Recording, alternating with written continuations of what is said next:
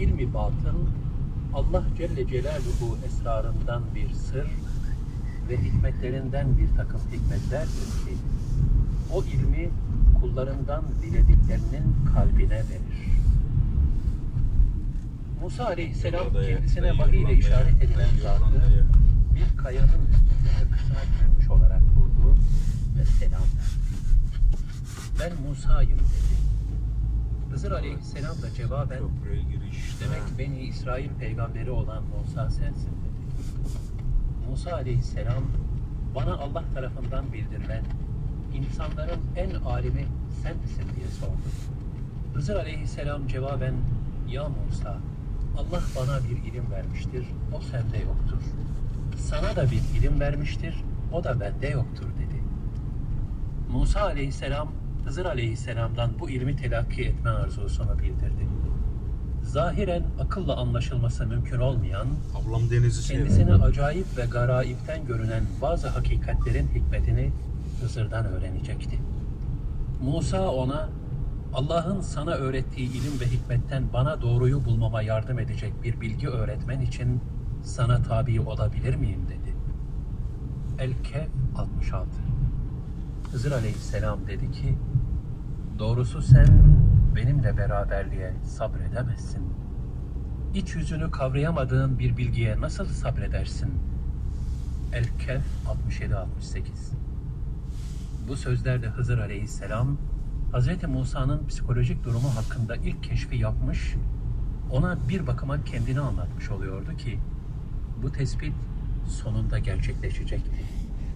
Hz. Musa'nın alacağı hisse kendi yerini bilmek ve bir sabır dersi almaktı.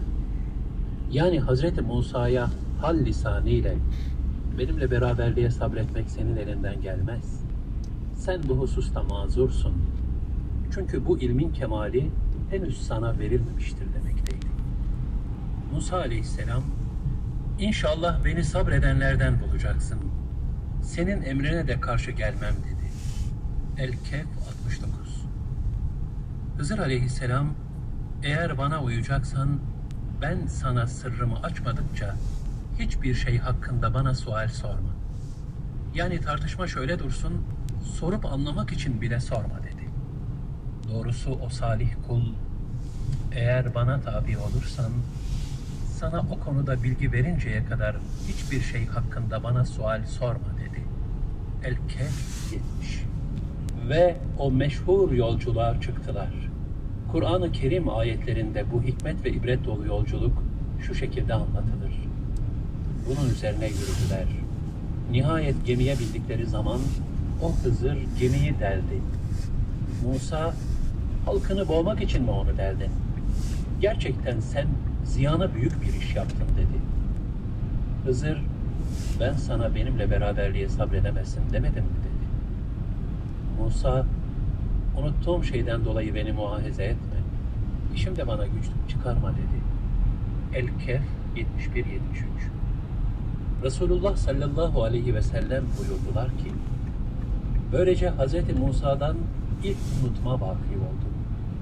Bu sırada bir serçe gelip geminin kenarına kondu ve ardından su içmek üzere gagasını denize daldırdı. Bunun üzerine Hızır aleyhisselam Hazreti Musa'ya Allah'ın ilmi yanında senin, benim ve bütün mahlukatın ilmi şu kuşun denizden gagasıyla aldığı su kadardır dedi.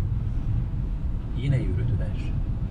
Nihayet bir erkek çocuğa rastladıklarında Hızır hemen onu öldürdü. Musa dedi ki, bir cana karşılık olmaksızın masum bir cana nasıl kıyarsın?